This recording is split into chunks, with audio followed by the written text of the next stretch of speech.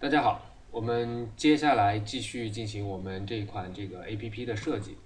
呃，我们打开我们上一节课存储过的这个 Home 界面，我们把它打开。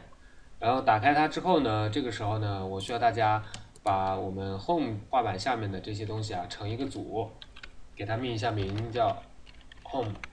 然后呢，我们点击右键，把它转化为智能对象。智能对象。呃，转化之后呢，它在这个里面就是一个一张图片一样的一个啊一个就是结构吧。然后呢，我们可以双击这个智能对象进去，这个时候呢，可以再进行这个智能对象的一个编辑。然后这个里面我们这个 BG 这个层可能有点问题，我们重新给它画一下，我把它设置成白色，好，保存一下。那保存成智能对象之后呢，有什么好处呢？就是我们可以很方便的把整个这个对象复制过来。比如说我点击右键，呃，选择这个通过拷贝新建智能对象。那我们看到有一个 Home 拷贝，然后我们把它拉出来，啊，它就成为了一个新的一个一个界面了。那我们给它改一个名字。我们今天要做的呢是发现的这个界面，所以我们给它起一个叫 Discover。然后我们双击进去，我们这个时候双击进去编辑这个 Discover 的时候，那我们比如说我们先把这几个 icon 隐藏掉，然后保存一下，然后点关闭，我们会发现刚刚做的操作已经应用到这个 Discover 这个智能对象了，它也没有影响到我们之前这个 Home。啊，我们现在进去之后，把这个啊按钮把这个 icon 再显示出来，这个时候我们需要。进行一个什么操作呢？就是我们正常来讲，呃，一个界面它应该是有一个按钮是高亮的，啊，其他几个按钮是致灰的，啊，所以呢，我们就需要把这几个按钮的颜色设置一下。那我在这里呢，现在的这个阶段呢，其实我并不是很考究颜色，所以我只是需要先把那个颜色的感觉做出来就可以了。那我这里可能我选用呃六六六，然后把这个也选择六六六。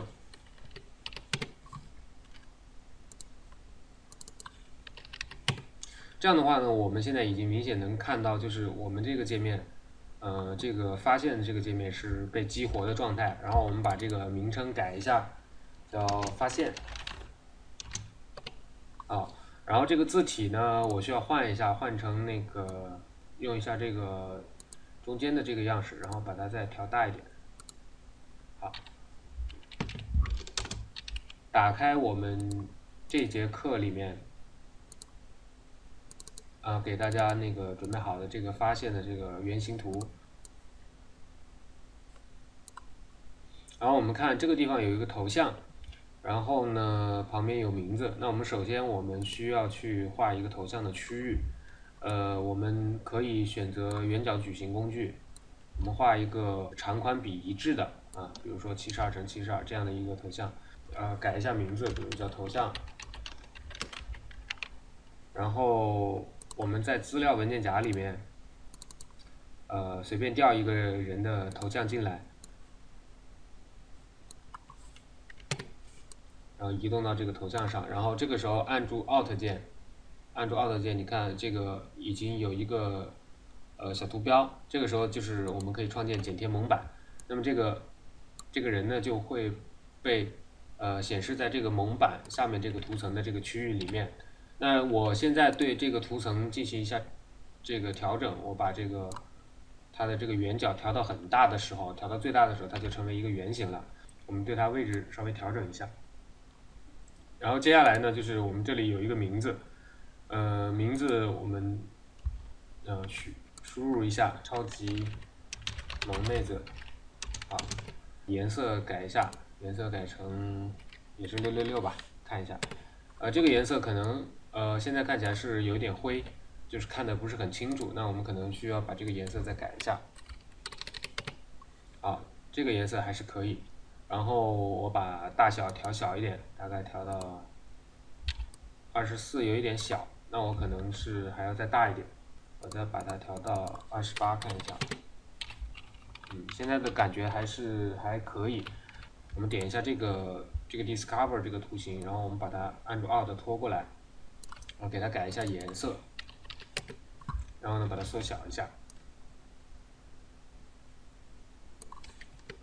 呃，这个大小应该是差不多的，然后我们放大一点，感觉还是稍微有一点大，因为就是这个大小跟上面这个字啊，就是大小一致了，所以我觉得是可能不太好，就是层次感不好，所以我们就需要把它再缩小一点，就是要比可能要比你上面这个要要弱一点，然后我们把这个萌妹子这个字复制过来，呃，改成一个五点三呃公里。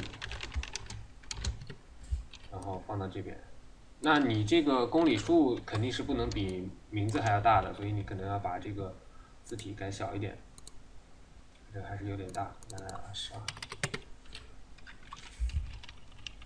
然后字体的颜色可能也要稍微弱一点。啊，现在看这个这个颜色还是有点深啊，可能我们还是需要再调淡一点。那我就用九九九吧。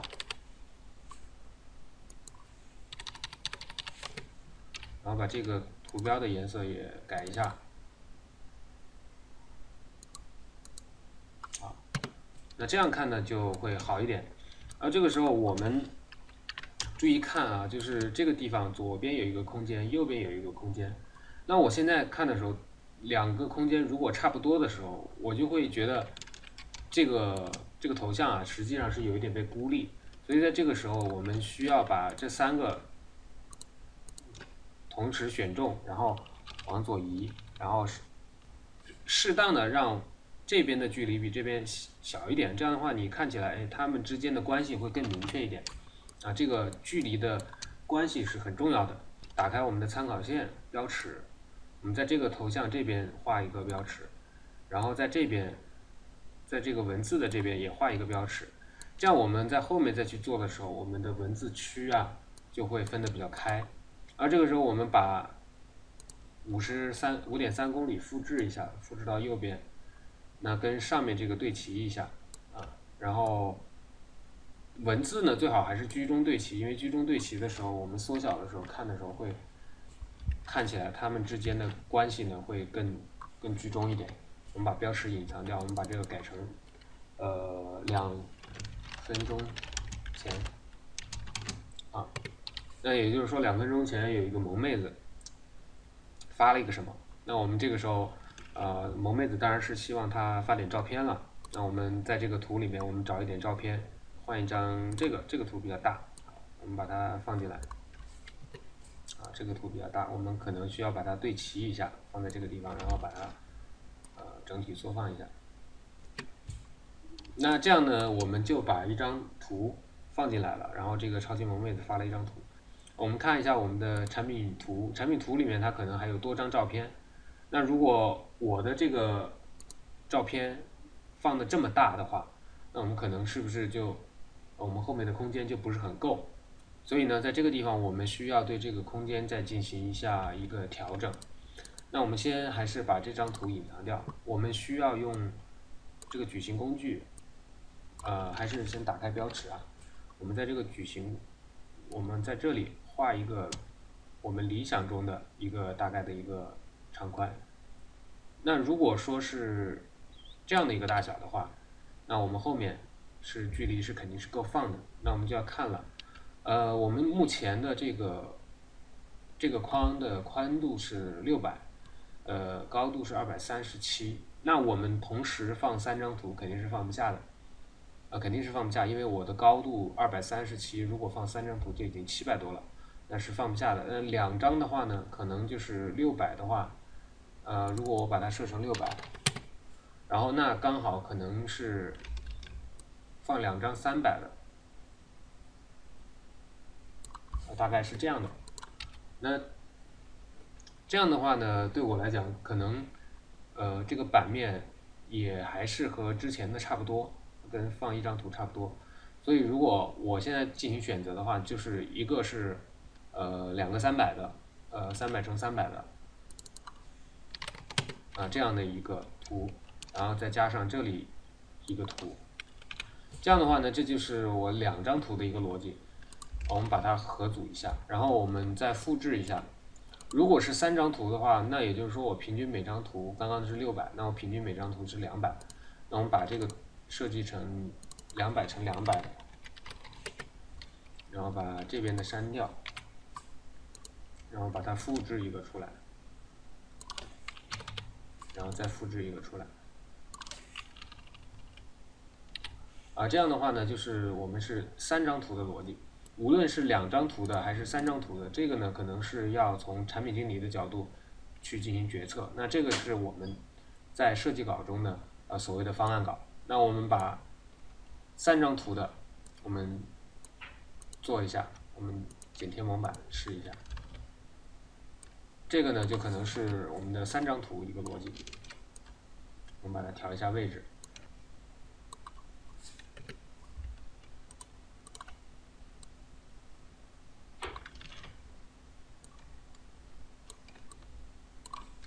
这是两张图，然后呢，再来一张，可能我换一下不同的图，会看得清楚一点。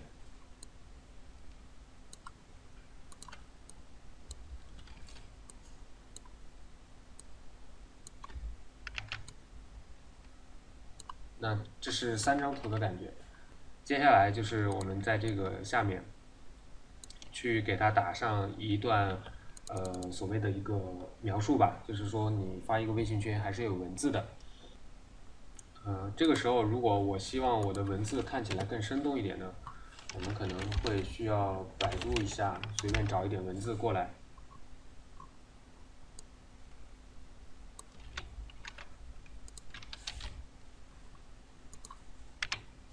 好，呃，那大概就是这样的一个一个感觉。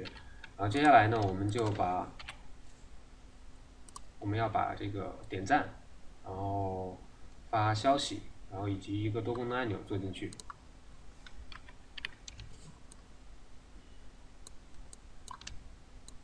点赞呢，就是先画一个心。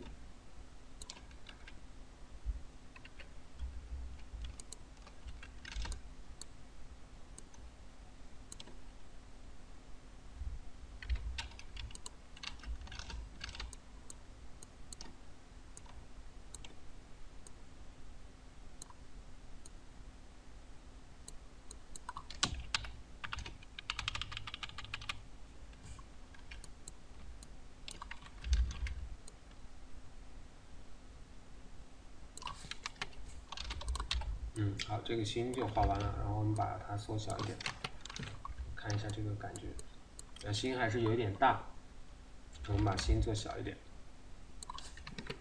然后颜色呢，可能我还是希望它是红色的，因为红色的心呢看起来会稍微好一点，然后后面可能我拉一个数字过来，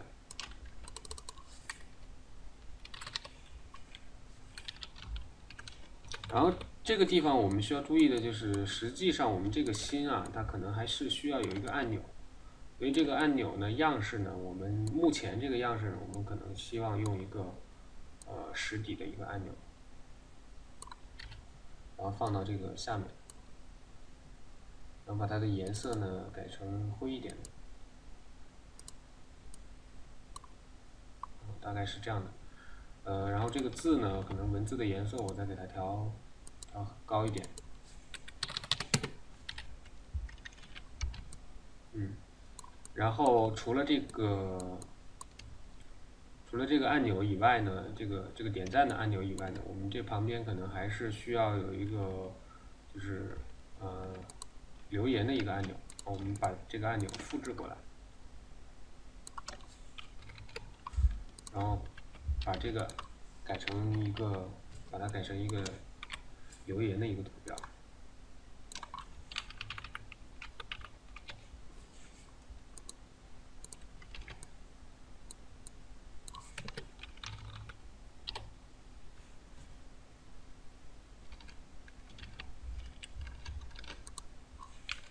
我们对这个还是稍微要进行一些微调。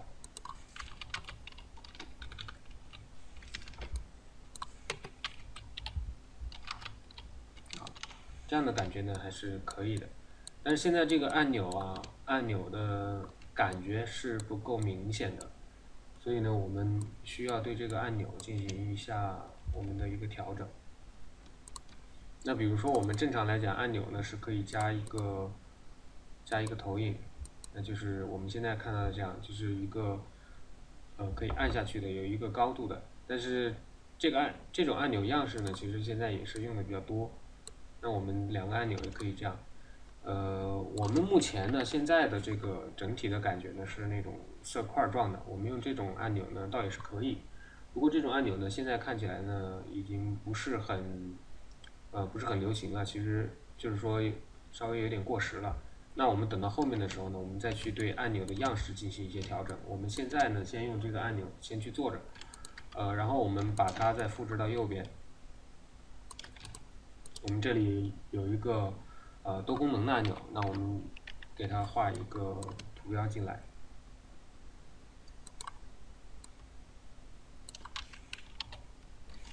我们颜色稍微调一下。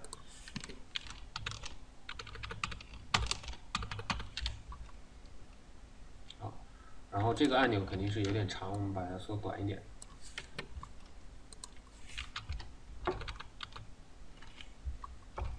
这个时候呢，我们把它缩小一下看。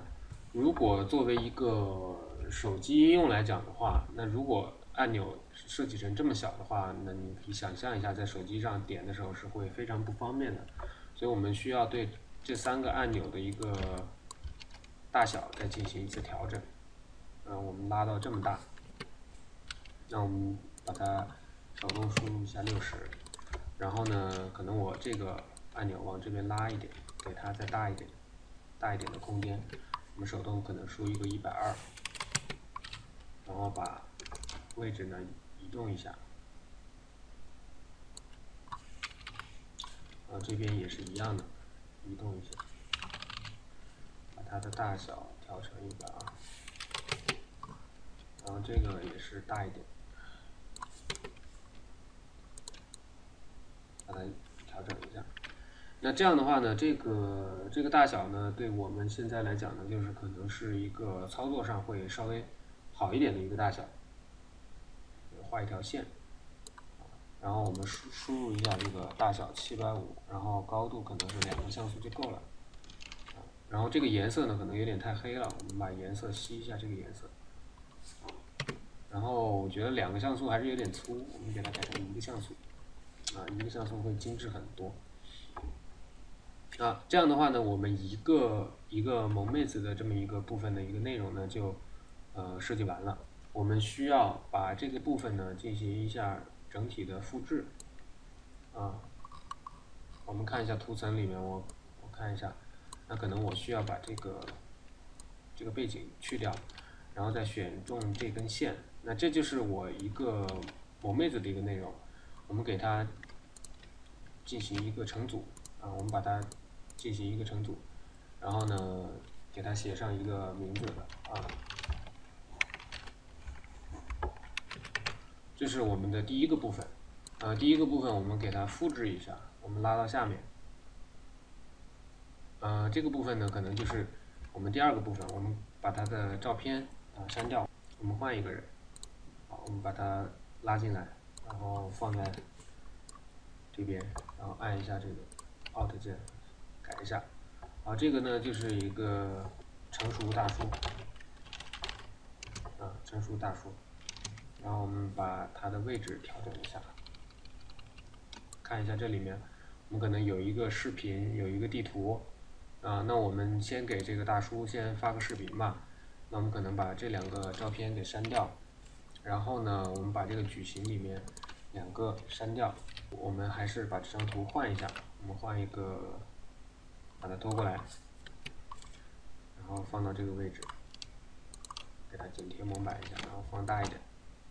好，我们画一个大大大的一个圆形。好，然后呢，我们把它设计成黑色，然后上面呢，我们再去画一个三角形。三角形就是我们先画一个方形，然后把其中的一个点给删掉，那么它就成了三角形了。我们给它转一下，然后把它改成白色。然后把它放到中间，然后呢把形状调整一下。然后这个时候我们那这种一个纯黑的一个按钮是不好看的，我们需要把这个黑色呢，呃降低一点透明度，啊，嗯，百分之五十的透明度还是不够，嗯，设置成百分之八十，八十又太强了，啊，七十，那这样的感觉呢是一个视频的一个感觉，那是没问题，用这个裁剪工具把整个图再放大一点，这样的话我们可以继续往下去做更多的，那我们这个时候把这几个，把这几个导航往下拖一下，啊，然后再把这个背景往下拖，拖大一点。这个时候，我们再选择第二个内容，啊，这个把它改一下，改成二。我们看一下一二，啊，这两个东西是分开的。我们再把二拖下来，拖到这个位置，啊。那这个就有一个三了，我们把它改成三。呃，三的里面呢，可能就是我们这里面有一个分享位置的这么一个一个内容。嗯，把这个人的名字改一下，叫年轻小伙。